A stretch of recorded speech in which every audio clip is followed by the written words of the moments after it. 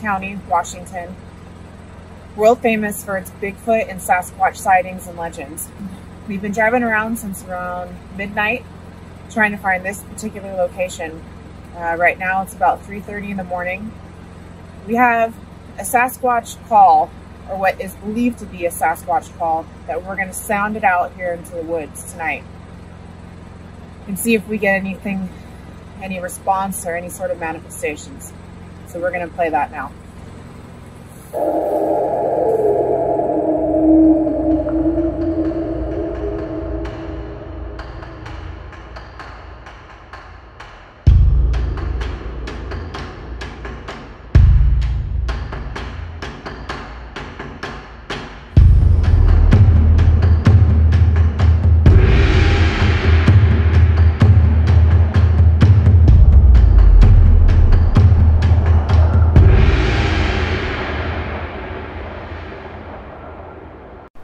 Bigfoot real?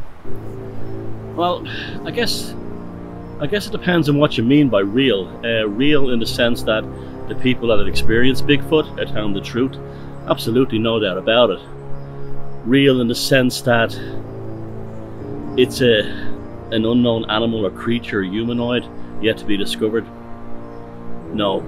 No. Story is far deeper than that.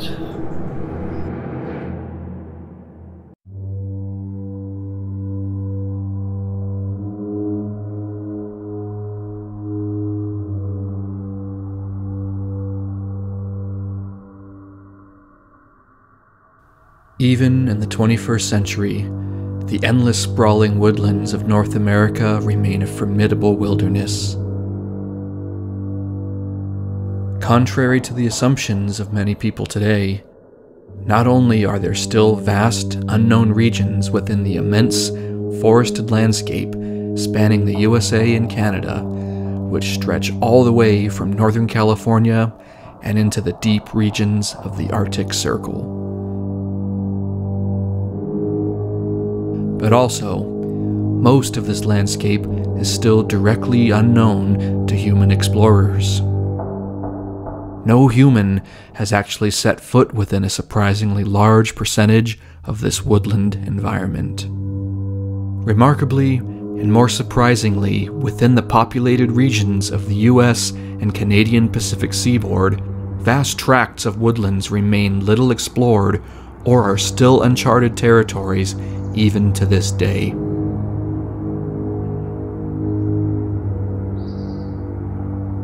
This is a mysterious realm left over from the ancient past to remind the modern humans who live and move along its margins that the ancient forested landscape of the North American continent remains largely intact, while keeping its darkest secrets to itself alone.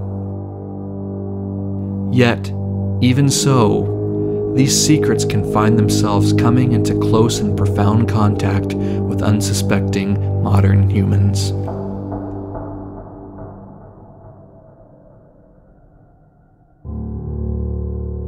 Humanity's relationship with the untamed woodlands has long been a complicated and intense affair. The wild forests of this world was not a landscape in which humans were inclined towards coexisting with for much of our history. From the earliest times, the dangers of the forest haunted the human psychic landscape, in which the unknown sounds, shapes, and mysterious happenings within the woods, especially after darkness, came to be reimagined within mythology and legend. The untamed woods were also extremely dangerous for humans to set foot into for most of our history. Literally everything within a wild woodland intends to consume the unwary and even wary traveler who finds themselves trapped among the endless demarcation lines of trees and undergrowth. The forest floor itself is the ultimate domain of death, where microbes and bacteria are the final arbitrators of any creature or person who has fallen down, never to get up again. From skin, flesh, and right down to bone and bone marrow, the carcasses of the largest deer or bear can vanish in a matter of hours. The efficiency of the woodland scavengers is so ruthlessly precise that almost instantly nothing remains of what once was. Hence why people who vanish into these wild woodlands are generally never found. Any hunter who has spent decades within such forests will tell you that they rarely, if ever, have come across the bones of a large animal. This is one of the most important and significant clues into any potential search for proving the existence of Sasquatch. The physical evidence is essentially pointless, because if it existed, realistically speaking, it could almost never be found. Not only is the quest for discovering bones or other parts of a Sasquatch body a futile pursuit, but it also manifests a sense of frustration within so called Bigfoot researchers, where even the most implausible and absurd material evidence of this alleged humanoid creature is presented, and in many cases has been clearly faked. With the proliferation of modern technology such as trail cams, there should be thousands of Sasquatch photos at this point, Yet, among the now millions of photos taken, a fuzzy shape in the distance remains the best photographic evidence for the proof of the existence of this creature. In other words, obtaining a trail cam photograph of Bigfoot has been a spectacular failure. When one sits down and objectively examines the vast and entire body of Sasquatch physical evidence, the most honest conclusion for one to arrive at is there is practically none. Film and videos can easily be faked. Footprints likewise can, and have been proven, to have been faked. Even the much lauded DNA evidence invariably turns out to be bear fur caught on a tree, which has been contaminated by the human DNA from the fingers, picking it up, and next thing you know, you have something denoted as inconclusive results coming back from the lab which the most zealous Bigfoot researchers are determined to believe is that of some unknown early human or some human animal hybrid, when in fact it is just a contaminated DNA sample. While there are many sincere and genuine Sasquatch researchers who do their best to apply diligence and integrity to their work, plaster casts of bear prints in distorted mud or melting snow can easily resemble the most well known attribute of the fabled Bigfoot. However, there is one aspect of the entire Sasquatch phenomenon which presents the clearest and most plausible evidence, and this is the personal eyewitness accounts. There's no doubt that many of these people have been psychologically and even spiritually affected by coming face to face with Sasquatch, which alone provides powerful evidence for the existence of the phenomenon. You can't fake this visceral reaction. Along with the sense of a haunted psyche these people often retain for the rest of their lives. Some of these eyewitnesses present symptoms close to that of post traumatic stress disorder when recalling the encounters with Sasquatch. These people have looked into the eyes of something that exists beyond man and accepted nature. Their experience is one that is folkloric in nature and not millions of miles from those who have claimed to have experienced alien abduction events, or the vast canon of folklore surrounding entities recorded in the forests, woodlands, and jungles of the entire world. The supernatural and psychic aftershock of coming face to face with Sasquatch, or of hearing its screams emanating from the tree line in the distance, is something these people are unable to forget. For this reason alone, Sasquatch is very real indeed.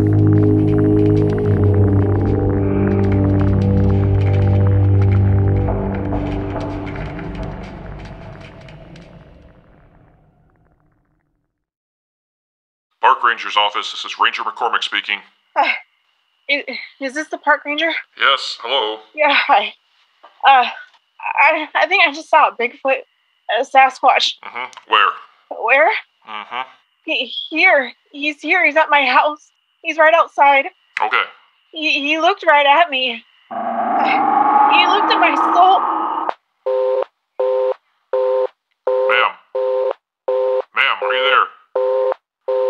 Still there.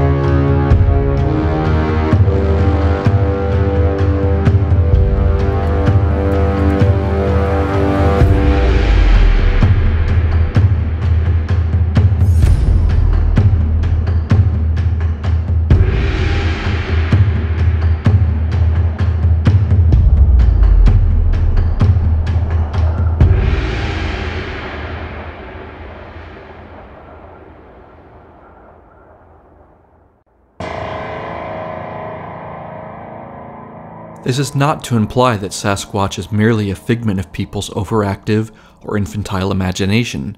Sasquatch is as real as the people who come face to face with the Sylvian phantom of the North American forest claim it to be. With this approach to the phenomenon in mind, therefore, within this film we are hoping to prove the existence of Sasquatch, not as an unknown animal or central element within cryptozoology, as the phenomenon has mostly been framed within to this date, but as a woodland folkloric spirit entity not too dissimilar from the myriad of comparable folkloric wild nature spirits from all over the world. From the fairies of the Celtic world, to the trolls of the Nordic regions, to the Wildenfolk of the Germanic forests, to the Mahasona of Sri Lanka, and on to the many similar folkloric wild spiritual entities of Asia, there are common supernatural archetypes extending into everywhere on this earth, wherever human imagination has fermented spiritual entities from other dimensions and worlds and transformed them into this five sense reality. Sasquatch presents us with more evidence of this spiritual elemental resolution of the phenomenon than that of an unknown humanoid or ape like creature. Sasquatch's total and complete absence from millions of trail cam photos alone reveals this to be the case, yet thousands of people in the USA and Canada have come face to face with Sasquatch. That's because they have experienced just that a Sasquatch encounter. These people are not lying. It is the nature of the technology used to prove the material reality of Sasquatch which is, for the most part, inadequate for the purpose of proving its existence. While there is little or no evidence of the material flesh and blood Sasquatch in terms of it being an unknown species of human or woodland ape, there is endless evidence of the supernatural or interdimensional Sasquatch to be found within personal testimonies and eyewitness accounts. While many people may find this approach to the topic somewhat disappointing, in actuality, it regenerates the archetype of Sasquatch into a more powerful and precious psychic monument of man's relationship to the wild regions of North America. The landscape of trees, soil, minerals, and wildlife become embedded within a powerful sense of mystical reverence which the Native Americans have applied to these environments for thousands of years. Sasquatch can be then viewed as something of a catalyst between the material forests and the mystical woodland realms of the unknown. The irony of all this being, we are much more likely to encounter a Sasquatch if we cast off this notion of the phenomenon being a zoological expedition, and instead turn our efforts towards that of a paranormal investigation.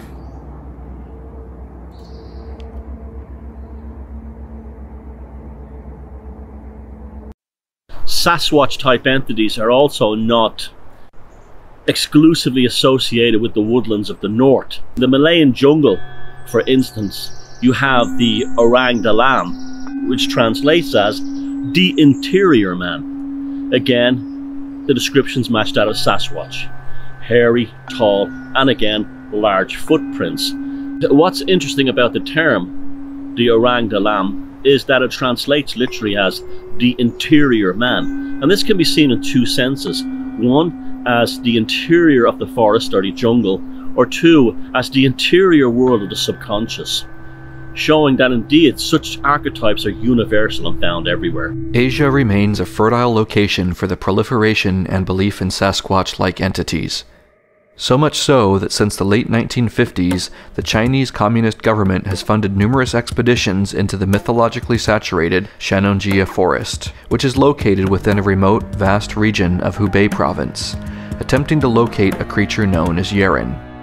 Documented sightings of the entity have been recorded as far back as the 3rd century BC and have continued to the present, in recent decades, the ongoing research program on the Trail of Yeren, with the hopes of capturing the Yeren on film or even a live specimen, has become formally titled as the Committee for the Search for Strange and Rare Creatures. The committee is composed mainly of scientists who, thus far, have had to content themselves with collecting possible evidence and artifacts as well as taking records of eyewitness accounts. Within their possession, the committee also has what is believed to be a plaster casting of a large footprint, indicating that the Yeren could weigh up to 600 pounds. Assuming the footprint is legitimate, However, the authenticity of this plaster cast being that of a Yeren is thrown further into doubt by the virtue of this particular artifact being the only one of its kind within the committee's possession. Despite major expeditions having been launched in 1977, 1980, and 1994, utilizing serious funding from the Chinese Academy of Sciences, along with the latest available scientific instruments at the disposal, almost no physical evidence has been uncovered to suggest the existence of the Yeren. Yet folk belief in the Yeren is as strong as ever. Sightings of the creature continue unabated. Even many of the expedition scientists have claimed to have heard its screams in the Shennongjia forest at night, and the experience has left a profound effect upon them. Also within Asia can be found Pakistan's Barmaranu, translating as the Big Hairy One. This local version of Sasquatch is distinctive by the deep guttural short screams it fills the forest with during the night while striking terror onto all who hear it.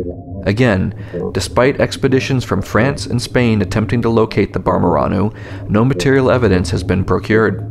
Along with the universality of Sasquatch like entities worldwide, the same universality of researchers being unable to gather sizable or plausible material evidence for the existence of these creatures beyond that of a few inconclusive hairs, or something that may or well be a footprint now and again, remains the sum total of thousands of researchers working all over the world and still finding very little in the way of serious or plausible evidence. Not surprisingly, this leads to some individual faking such evidence.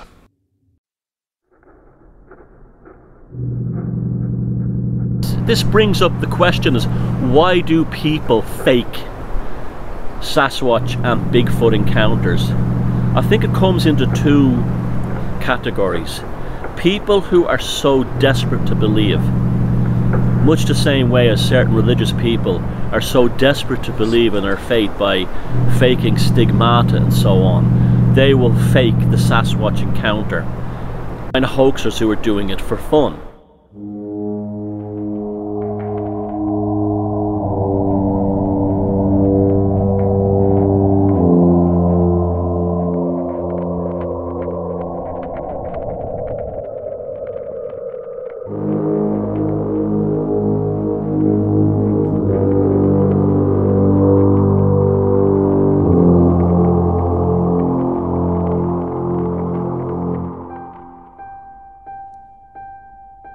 Most famous of all the Bigfoot Sasquatch alleged pieces of film evidence remains the well known Patterson Gimlin film, which was shot in 1967 at Del Norte County inside the Six Rivers National Forest in Northern California, and to this day is still considered by many to be an actual film of the elusive creature.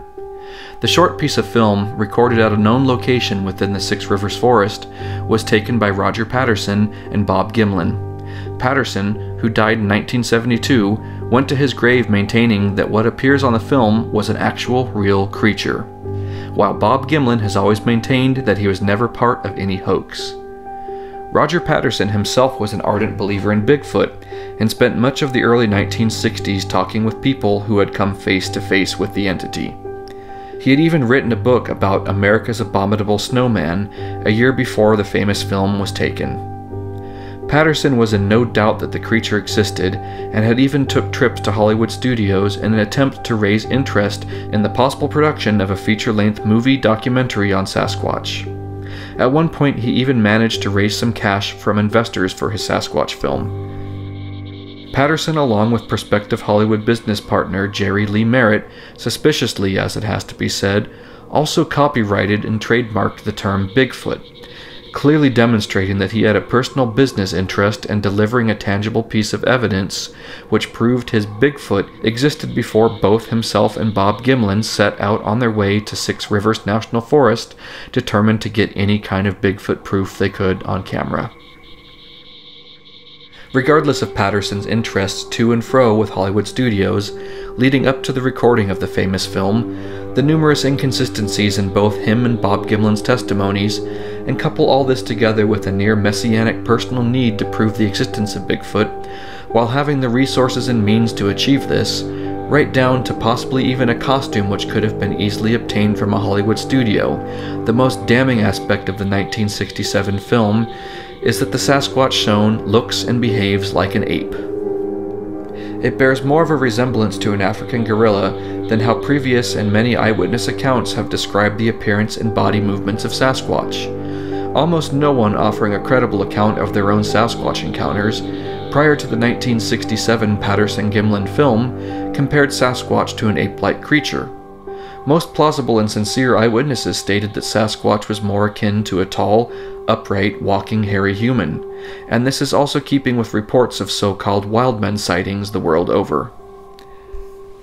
Since the mid 1990s, stories have circulated, although tempting to believe, however still remain unproven, was that Hollywood prosthetic makeup expert John Chambers, known worldwide for his work on the Planet of the Apes film franchise, was the individual who supplied Roger Patterson with the costume, which in turn became the famous Bigfoot in the 1967 Six Rivers National Forest film. Not only was Chambers known to have made at least one Bigfoot costume, which he kept in his garage and not on the movie studio set, but he was also directly involved in a famous hoax of the time known as the Minnesota Iceman, which was a traveling fairground and sideshow exhibit of the late 1960s, early 1970s. John Chambers' depiction of Sasquatch and the Minnesota Icemen was of large ape like creatures, more so than hairy unknown humanoids. Native Americans have been even more specific in their description of Sasquatch, in that the entity's movements are reported as being far more graceful and almost slow motion in terms of how they move, with many reports alluding to the feminine aspect of the creature. Sasquatch is ghostly and almost ethereal and not at all ape like within both Native American and the most plausible sightings and reports of backpackers, forestry workers, and others who ventured into Sasquatch's realm. Sasquatch can suddenly appear or vanish and is often accompanied by orbs of light and even UFO sightings. Sasquatch encounters are often like a show or a performance with the entity being the main event. This also includes the eyewitnesses undergoing lost time and even reporting spiritual experiences during such events, especially if they looked into Sasquatch's eyes. Yet the description is never of a grunting and slumbering ape like creature dragging itself through the undergrowth. Sasquatch is reported to walk with a sense of confident grace and poise. So much so that within some Pacific Northwest tribal communities, Sasquatch is nearly exclusively considered to be female. How remarkably similar this is with the ancient European stories of the wild woman of the deep forest, known in the Germanic world as the Wildenbüchen, and to which a more elemental or fairy like nature is applied, rather than that of a woodland monkey or gorilla. Added to this, only certain types of people are said to even be capable of seeing the Wildenbüchen, something which Native Americans also believe about Sasquatch, adding to its more likely status of an interdimensional entity rather than that of a flesh and blood, yet to be discovered American ape or proto humanoid ancestor.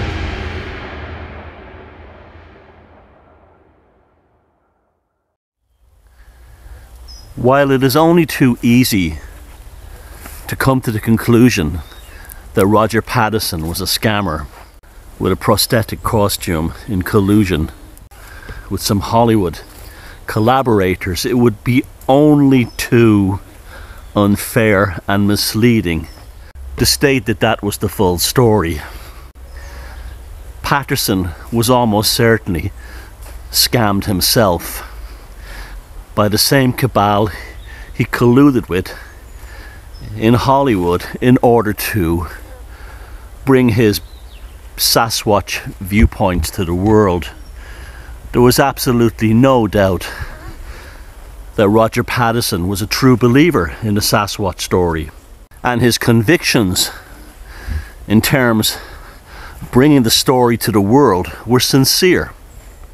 What illustrates this is the concept of Bigfoot consciousness in terms of large footprints being somehow indicative of the entire story.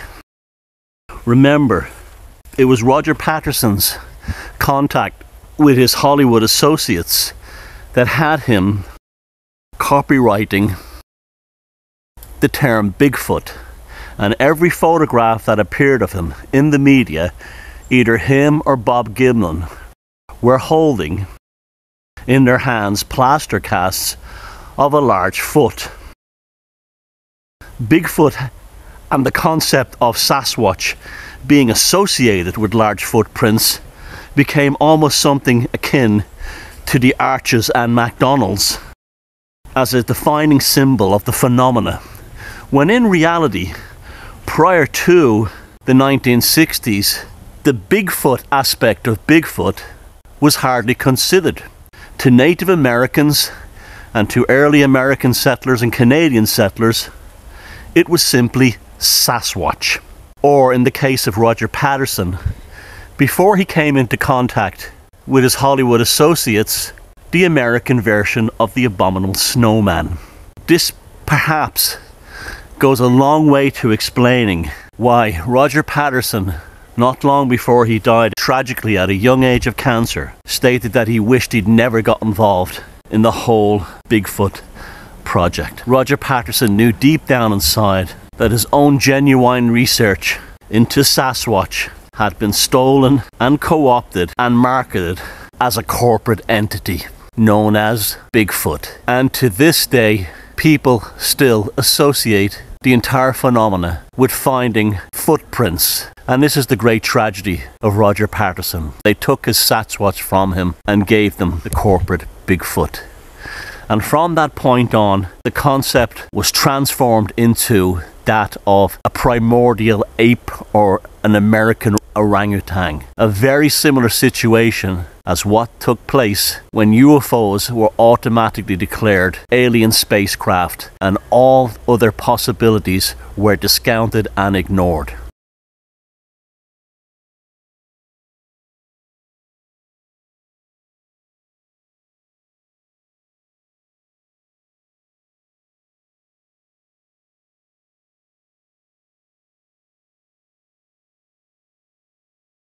Skamania County became a hotbed of Sasquatch sightings in the late 1960s and early 1970s.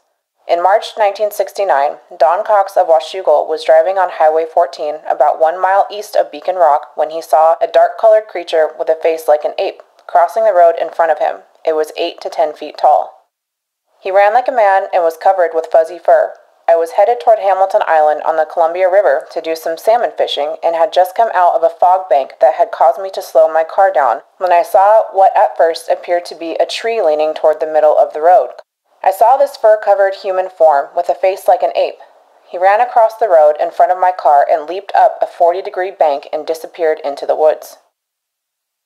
The Skamania County Sheriff's Office investigated the sighting and found a smeared track on the bank. The print was not made by a deer or elk, and a bear would not run that far on its hind legs, the investigating officer said. On September 15, 1969, two tracks were discovered at the Miles Stevenson lodging operation on Stevenson Ridge, five miles north of Stevenson. The tracks measured 15 and a half inches long and 9 inches wide. A plaster cast was made of the prints by the Skamania County Sheriff's Office. They were described by then Sheriff Bill Closner as the clearest track of the many discovered in Skamania County. Legends and Theories There are many different legends and theories about Bigfoot. The Tlingit Indians in southeast Alaska call him Kushtaka. They believe that in the 1700s, the white men drove the Indian males into the woods. There, as the legend goes, the Indians mated with the land otter to create the Kushtaka. Jim Frost of Stevenson, who lived in Alaska for 20 years, said the modern Tlingit Indians still believe the legend. They pass the stories down from generation to generation. They firmly believe in this. Scientific theory suggests that the creature is an earlier form of man that never evolved or that is descended from ancestral orangutans. Whether legend or scientific theory prevails, the Sasquatch remains a mystery. One of the most moving and telling aspects of people purporting or claiming to have had Sasquatch encounters is how they remark about when they made eye contact, that they were looking into a very deep soul, that they were not looking into the eyes of an animal. You hear the story of many hunters who picked up a rifle ready to shoot it and suddenly realized that they were looking at a person and not an animal. This is a profoundly deep psychological and almost Jungian aspect into the experience The assumption that Sasquatch must be some rare or yet to be discovered species of ape or gorilla eventually generated something of a distasteful bloodlust among a certain faction of researchers who determined that only by shooting and killing a Sasquatch would the argument surrounding its possible existence be settled once and for all. Sasquatch's remarkable tenacity in avoiding every trail cam in North America is equaled only by the entity's ability to avoid being shot by the millions of hunters who stalk the North American wilderness year after year. Right up to the present, with their powerful ballistics and infrared night vision detection systems, Sasquatch has proven itself to be the ultimate survivor in this respect. Along with this, Sasquatches also manage to avoid ending up as roadkill, despite the proliferation of major roads and highways intertwining and cutting through the hearts of Sasquatch country. Yet there are numerous sightings reported of Sasquatch standing at the side of highways, or being caught as a ghostly specter darting in front of the headlights of a speeding car. To date, not a single Sasquatch corpse has been seen or picked up from the side of any road in either the USA or Canada. This frustration, derived from a lack of an actual Sasquatch body, has had researchers such as Dr. Grover S. Krantz, who is literally possessed by the concept of Sasquatch being an American ape, proposed the almost evangelical crusade of killing a Sasquatch specimen at any cost and putting it on public display, including major financial incentives being offered for the body of a Sasquatch. Krantz was a professional anthropologist who came to believe that Sasquatch was an actual creature, devoting most of his academic life to proving its existence. Krantz, to his credit, repopularized the term Sasquatch rather than Bigfoot in the post Roger Patterson era. In January 1985, Krantz even tried to formally remove the term Bigfoot by presenting a paper at the meeting of the International Society of Cryptozoology held in Sussex, England, instead proposing that the ape man of North America be officially termed as Gigantopithecus blacki. His academic background also prevented Dr. Grover S. Krantz from any other consideration that the mysterious and elusive creature might be in fact anything other than an unknown species of ape or surviving early proto human ancestor. Krantz's belief in Sasquatch's existence not surprisingly alienated him from his academic peers, and this became a source of endless frustration for him. Again, a few inconclusive plaster casts of alleged Sasquatch footprints was about the sum total of actual evidence he accumulated. This may have given rise to his bizarre call for a full military assault into Sasquatch country in order to bag a body at any cost. After a life of attempting to find his missing Gigantopithecus blacki, Dr. Grover S. Krantz died in 2002 leaving a sizable body of work on how to hunt for ape men in the North American wilderness. His diligence as a scientist was clearly flawless. However, he was looking for something beyond the material realms using material methodologies.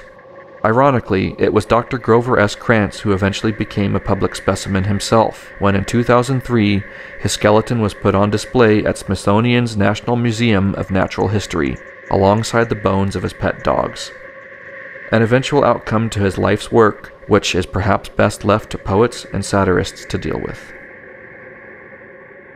Despite the lack of an actual Sasquatch body, over the decades, numerous people have come forward to claim they have indeed shot a Sasquatch, in some cases at point blank range, and this had no effect upon the target.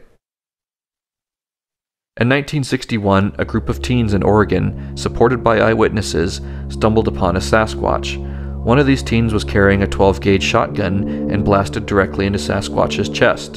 Having no effect, to the teen's amazement, Sasquatch turned around and dissolved itself back into the forest, as if nothing had happened.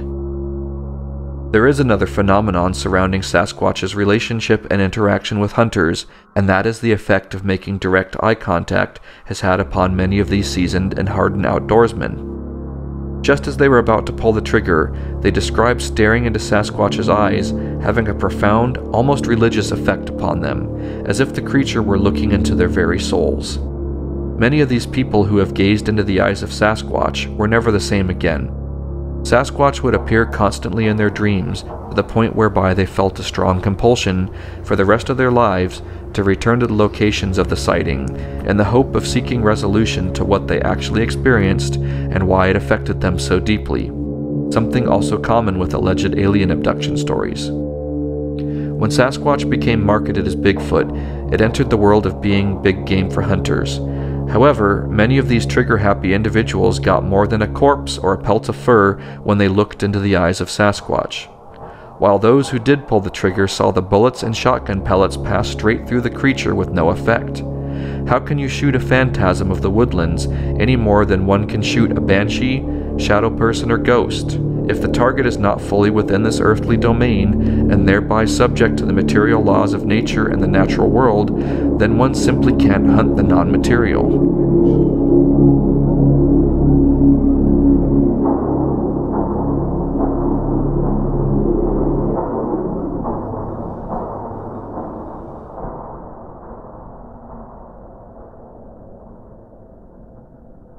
Within European folklore itself, the concept of the wild man or the beast man who lives in the wilderness, not one necessarily of a tangible creature.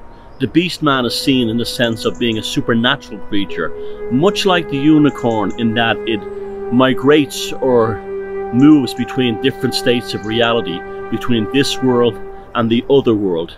Therefore, searching for the wild beast man of the European woodlands, be it Celtic, be it Nordic, be it Teutonic, is seen as futile, as the beast man will appear unexpectedly, and any human being encountering it will encounter these beastmen by accident. It's never planned, they're not hunted, they're not sought out. Simply because, like the fairies, they exist between different realms of reality between this world and the other world, the unseen world of the fairies, of the pixies, of the elves. This is where the beast man lives. Occasionally, he shows up within this reality.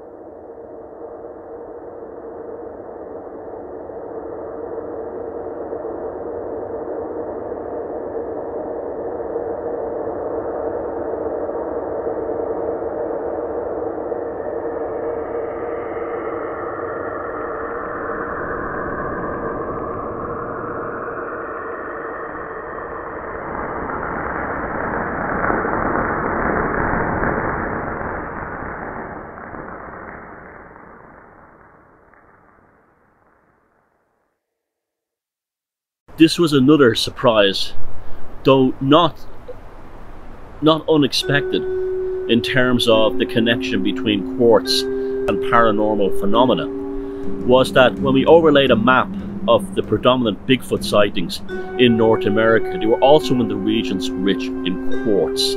Now this is important because quartz is used in ancient megaliths and was often seen as a stone, as a crystal that opened up portals between different realms of experience. Therefore, it would make perfect sense that a fleeting and mysterious creature such as Sasquatch would manifest in areas high in quartz. Also, areas high in quartz all over the world are generally associated with things such as orbs, lights, and the UFO phenomena, things also connected to the Sasquatch experience. Quartz has long been associated with having magical and supernatural properties. In ancient Europe, for example, quartz and stones pronounced with quartz seams running through them were purposefully used in the construction of stone circles, dolmens, and all other manner of Neolithic and Bronze Age ceremonial and ritual sites. Quartz was seen as a means for the spirit world and for this world to interact with one another. In much the same way, quartz crystals are used in radio tuners in order to collect signals otherwise undetected by the human ear. As a result, it was believed that quartz somehow opened up human perception to the spirit world. In some Irish and Scandinavian ancient sites, cup and ring carvings were viewed as literal portals to and from the spirit world. Areas rich in quartz are also known to produce localized paranormal phenomenon, Loch Ness in Scotland, and Lake Champlain in upstate New York, Vermont, with their famous lake monsters, for example. Then it is hardly of any surprise that Sasquatch sightings are generally more prevalent in mountains and hilly regions which are also high in levels of quartz. Even in some regions of North America not particularly known for Sasquatch sightings, such as Pennsylvania and Vermont, locations associated with manifestations of all manner of paranormal happenings, including occasional Sasquatch reports. Although by far the epicenter of Bigfoot activity and sightings in North America is the western regions from Yukon down to California. Again, in mostly mountainous and forested environments with large quartz deposits. One such location is Amador and Calaveras counties in California, which are known to be some of the most high quality quartz laden landscapes in the world, particularly in the Mokelumne Hill area. Yet again, the region is well known for its Sasquatch sightings, mainly in and around the foothills of the Sierra Nevada mountains. The Stanislaus National Forest and the Sierra Nevada mountains being perhaps the most southerly domain of Sasquatch frequent sightings, with reports of the entity mainly taking place high in the mountains where the largest deposits of quartz are also found. Is there indeed something about the nature of quartz that alters human consciousness, allowing one to see into other dimensions and worlds, and by extension also allowing Sasquatch to cross over from its own hidden domain and into this material reality? Certainly within many Native American tribes, quartz was considered to have great healing and visionary power. Such ideas are common within the fairy folklore of Europe, and this is why quartz became so central to both European paganism and the spiritual traditions of the Old World.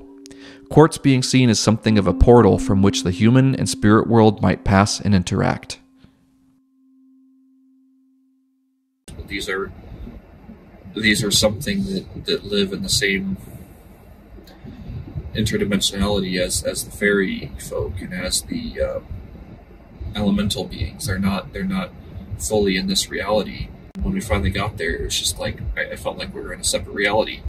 During my own research into this topic, one of the things I found especially fascinating was that during the height of the spiritualist movement, at the end of the Victorian era and going into the early 20th century, that Bigfoot creatures were reported and appearing at seances. These would be taking place generally in either Europe or North America, and Sasquatch type creature would manifest slowly out of the immaterial realms and take form. A very well respected, actually, and well known medium from the period, a Polish medium by the name of Franek Kluski, actually materialized one in 1919 to the point where he and the other people were able to communicate with this Bigfoot type manifestation in their parlor room through basic and simple innate sign language like pointing and so on. Along with the emotional and psychological encounters given by eyewitnesses who have encountered Sasquatch, close up and face to face, there have also been reports of people having been abducted by Sasquatch. These stories bear a striking similarity to the fairy abduction stories of the Celtic world, as well as that of modern alien abduction reports. The stories contain similar threads, which often involve strange lights, loss of consciousness, missing time, and an element of the abducted human being examined or studied by the entity or entities which had abducted them. So, how does it come to be that someone encounters a Sasquatch in the forest? Well, in the Celtic world, there's something known as the fairy stray. It's also associated within the UFO phenomena as missing time. This is also a factor within Sasquatch encounters, where time has been lost, sped up, or is completely missing. This comes directly from the concept of the fairy stray within the Celtic world, in that somebody wandering, usually in a forest or in the mountains, enters into another reality and encounters the what they call the good folk in Ireland, the the fairies, and coming out of this world, they enter back into this world profoundly changed, and time has changed, and time is missing from the experience, and the rest of their lives they never forget it. And this is one of the reasons I absolutely believe that so many people who claim to have had Bigfoot encounters are absolutely telling the truth because they have the same look in their eye and the same sense of bewilderment that people who have had fairy experiences that I've interviewed have also had. They're telling the truth, but they find it difficult to encapsulate and to formulate the experience in the language and the vernacular we use within this modern scientific world. So they resort to the concept that they've seen an unknown caveman or an unknown ape. In reality, what they saw was the American fairy experience. That's what they encountered, the fairy stray. All the same manifestations that, that take place within a fairy stray experience take place within the Bigfoot experience, right down to strange lights and even being abducted in some cases. In 1924, Albert Ostman, a Canadian lumberjack, was camping at Toba Inlet in British Columbia when, in the middle of the night, and still while sleeping inside his sleeping bag, found himself levitating and then hanging off the shoulder of a large, hair covered entity which carried Ostman through the dense forest for many hours. After having been taken to a remote canyon, he was shocked to find himself in the presence of four Sasquatch creatures staring down at him. After a week, the unharmed Ostman made his escape, even though the Sasquatch had treated him humanely and looked after his welfare by feeding him edible roots. Out of fear of ridicule, Albert Ostman told no one of his experience for over 30 years, when in 1957 he revealed his experience to the public. This was followed by a magistrate attesting to Ostman's character and mental health as being sound, finding no flaw in either his personality or his story. Ostman signed a solemn declaration indicating that his encounter with the Sasquatch group was true under oath and by virtue of the Canadian Evidence Act. Until his dying day, Albert Ostman maintained that he had been abducted by a Sasquatch, and everything he described during the week, while in their captivity, had indeed taken place. How is Albert Ostman's abduction story fundamentally different from, say, that of Travis Walton, Whitley Strieber, or Betty or Barney Hill, and many of the thousands of people who have come forward with alien abduction stories, and for that matter, being dissimilar to the stories of having been taken away with the fairies of the Celtic folklore? The experiences are all the same thing, acted out and particularly connected to the localized environment, being the quartz laden mountain forest or a Manhattan apartment, and also being connected with the culture in which they occur. Sasquatch is a particular type of archetypal spirit entity of the North American wilderness, specific to its environment and the people who live and go there. However, not all exclusive to North America, when one considered that the wild men of the deep forest stories are a universal folklore staple. The First Nations people of North America have always known this about Sasquatch and never deviated from the concept of Sasquatch being a spiritual being. Because folklore and native archetypes the world over bear remarkable similarity to one another. More importantly, what do Sasquatch encounters and experiences tell us about ourselves as humans, about our relationship with the natural wild landscape, and the ever present schism this creates within the psychological core of the humans finding themselves in such places and in the presence of a Sasquatch? If Sasquatch was an exclusively flesh and blood unknown species of animal or proto humanoid, then why would it haunt individuals who have come to stare into its eyes, in the same way people who have reported similar disturbances following alien abductions? In both cases, the entities haunting their dreams and nocturnal hours. The same experience is also reported by people involving the Mothman phenomenon of West Virginia and the Ohio Valley. Men in Black episodes have also been reported by Sasquatch eyewitnesses, Yet so many people continue to place all their hopes in vague plaster casts of footprints or trail cam photos that capture nothing to date. Other eyewitnesses report bizarre synchronicities and events as if their connection between Sasquatch, even when they didn't directly gaze upon the entity, stayed within them forever. What makes Sasquatch like entities appear at seances and have even been reported inside UFOs along gray aliens and even small leprechaun type beings? Yet hunters and most researchers still search the woods for physical evidence and nearly always come up empty handed. Perhaps they are looking into the wrong places. That being, rather than within the video frame of a trail cam or in the crosshairs of a rifle scope, Sasquatch is found within the archetypal core of ancient folk consciousness as a multidimensional spirit being which migrates between realities, and one which manifests itself within the particular landscape we might find ourselves in, and how indeed this landscape affects us. Sasquatch therefore isn't waiting to be captured. Sasquatch is already held within the depths of our subconscious poles of cognition and waiting to manifest when our souls open the doors of perception a little wider. You do not trap or shoot Sasquatch. Either by accident or design, you invoke Sasquatch.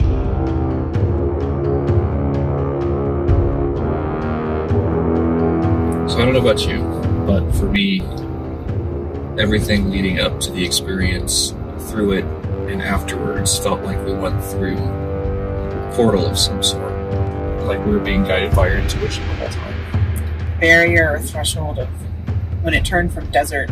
It wasn't to the afterlife, it was just to a different. Kind of the capital of, of Sasquatch and Bigfoot sightings. It's like, you know, as, as Thomas has talked about with this, we're, we're not going into a world where there's, you know, big ape like creatures. 2002 in Salisbury Plain where Stonehenge is located. While on manoeuvres, a British Army tank driver spotted the creature and reported it as a Sasquatch